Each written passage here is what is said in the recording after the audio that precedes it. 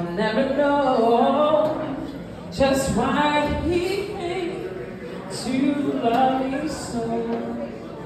He looked beyond my faults and saw my needs.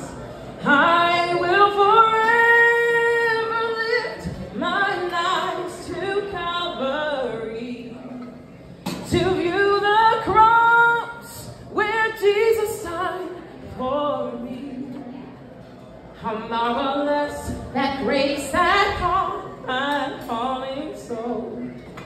He looked beyond my faults. He looked beyond my faults. He looked beyond my faults and saw my